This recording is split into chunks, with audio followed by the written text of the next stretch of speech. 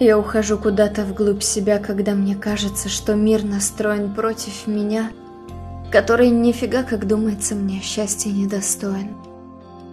Я закрываюсь ото всех на сто замков, когда тревога поглощает мою душу. Я просто-напросто морально не готов сливать свой негатив, чтоб кто-то слушал. Я так устроен, все храню внутри. Я не люблю делиться чем-то личным. Не от того ли некого винить, что чувствую всегда себя я лишним.